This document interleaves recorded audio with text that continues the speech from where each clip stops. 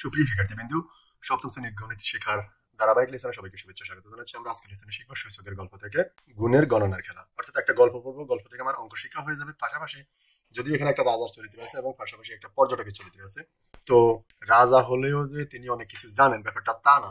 আজকে আমরা অঙ্ক করার মাধ্যমে সেই জিনিসটাই দেখব, রাজাকেও কীভাবে বোকা বানানো এই পর্যটকটা। এবং সাথে সাথে আমাদের একটা অঙ্ক শিক্ষা হয়ে যাবে। কেমন? সে গল্পটা একটু পড়ি। চলো আমরা একটি গল্প পড়ি। অনেক অনেক বছর আগে কোন অঞ্চলে একজন রাজা ছিলেন।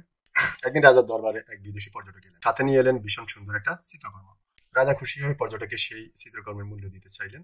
কিন্তু পর্যটক সরাসরি কোনো মূল্য না চেয়ে বললেন, এই চিত্রকর্মের মূল্য দেওয়ার নিয়ম একটু ভিন্ন। রাজা জিজ্ঞাসা করলেন, বলে দেখি কি নিয়ম? পর্যটক বললেন, টানা পঞ্চাশ দিন ধরে মূল্য নেবেন। পর্যটক পঞ্চাশ দিন ধরে মূল্য নেবেন, তবে কীভাবে নেবেন খেয়াল করো, প্রথম দিন তিনি এক টাকা নেবেন। তার মানে ঘটনাটা একবারে স্বাভাবিক, এটা যেন একটা হাস্যকর।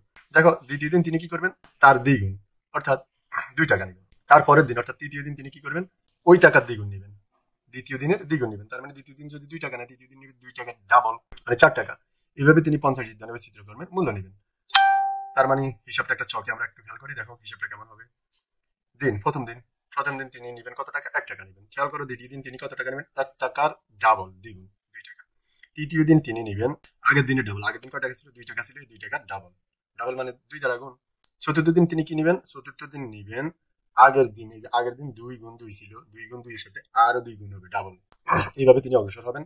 আসলে ফাইনালি কি কথা আছে একটু খেয়াল করি। রাজা ভাবলেন এই আর এমন কি, তিনি রাজি হয়ে গেলেন। এভাবে প্রত্যেকদিন পর্যটক এসে রাজদরবার থেকে মূল্য নিয়ে যান। কিন্তু বিশ দিন যাওয়ার পর রাজা টনক নড়ে বসল। ভাবো তো, কি কারণে সেটা হলো? তোমরা চক এক, দশমিক শূন্য একের নেয় যে একটা চক এর ন্যায় কি করবা? পঞ্চম দিন থেকে বিশ দিন পর্যন্ত যে টাকার পরিমাণটা তুমি নির্ণয় করে দেখবে, আসলে কেন রাজার টনকটা নড়ছিল। কিন্তু পর্যটক কি পদ্ধতিতে হিসাব দাঁড় করিয়েছেন? তা কি ধরতে পারছ? হিসাবটি বোঝার জন্য হাতে কলমে আরও একটি কাজ দেখি। চলো, সেটা আমরা পরের পাতে অন্য কাজ দেখব। তবে আমরা এখন কি করব? বিশ দিনের একটা কাজ করব। সেটা হলো পঞ্চম দিন থেকে বিশ দিন পর্যন্ত কীভাবে টাকাটা সে নিল, আমরা একটু দেখব। তুমি একটু খেয়াল করো, পঞ্চম দিন সে কিনলেন কি নিলেন? চতুর্থ দিন নিলাম দিন সে আমরা আমরা দেখলাম সে চতুর্থ দিন নিলেন আট টাকা।